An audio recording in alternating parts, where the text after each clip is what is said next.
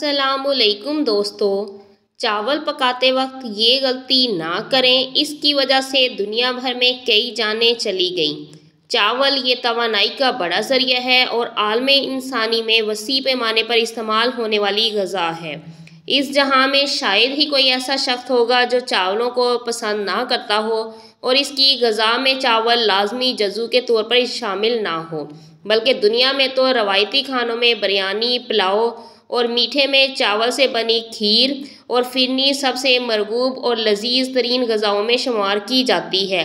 लेकिन आपको इलम है कि अक्सर हमारे घरानों में चावल जिस तरीके से पकाए जाते हैं या इन को जिन औकात में खाया जाता है, वो उल्टा मुजर सेहत हो सकते हैं।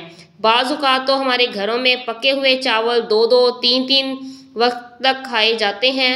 लेकिन आपके इलम में ये बात भी है, अगर पके हुए चावल को सही तरीके से स्टोर भी ना किया जाए तो फ़ूड पॉइजनिंग तो एक छोटी सी बात है। मामला इससे कहीं ज़्यादा बढ़ सकता है। एक मेडिकल रिसर्च जिसके मुताबिक अक्सर अवकात हमारे घरों में चावल पकाते वक्त कौन सी गलती की जाती है, जो चावलों को मुजर सेहत बना सकती है। इसके साथ साथ ये भी बताएँगे कि चावल खाने के बेहतरीन अवकात कौन से हैं।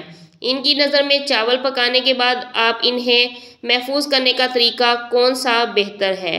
हालिया रिसर्च साइंसदानों ने खबरदार किया है कि दुनिया भर में मिलियन लोग गलत तरीके से चावल पकाकर अपनी सेहत को ख़तरे में डाल रहे हैं।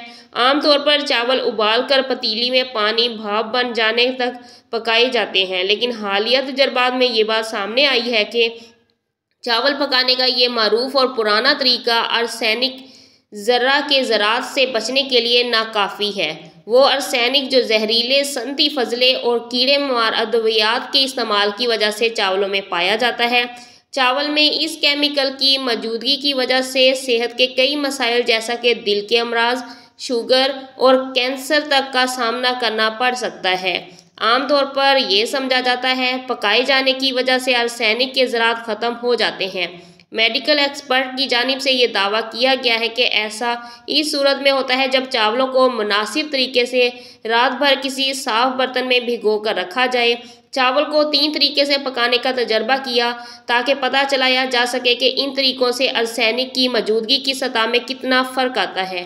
पहले तरीके में एंटी चावल पकाने के आम तरीके यानी एक हिस्सा चावल को दो हिस्से पानी के तनासब से इस्तेमाल किया, जिसमें पानी भाप बनकर उड़ गया। इस तजर्बे के बाद इन्हें मालूम हुआ, चावलों में अर्सैनिक की बड़ी मकदार बाकी रह गई थी।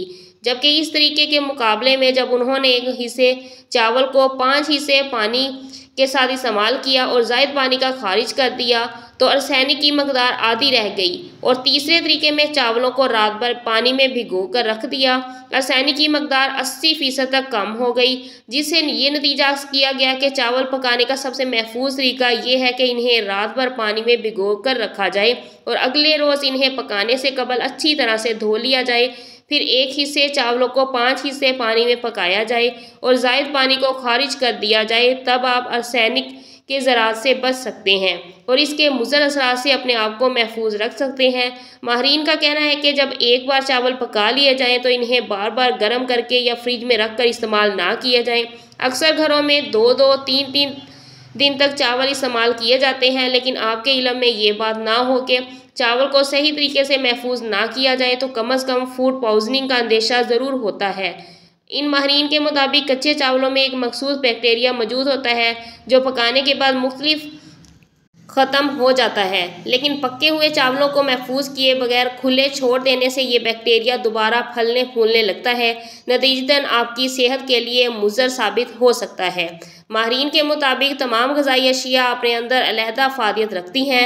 इन्हें मुनासिब मकदार और वक्त पर खाया जाए तो हमारे जिसम के लिए फ़ायदा मंद बन जाती है। जबकि हर चीज़ के खाने का एक मुकर वक्त है। अगर इसे मुनासिब वक्त पर इसे शय को खाया जाए, ना सिर्फ़ ये इंसान से, इंसानी सेहत के लिए हज़म हो जाती है, बल्कि ये जिसम को फ़ायदा भी पहुंचाती है।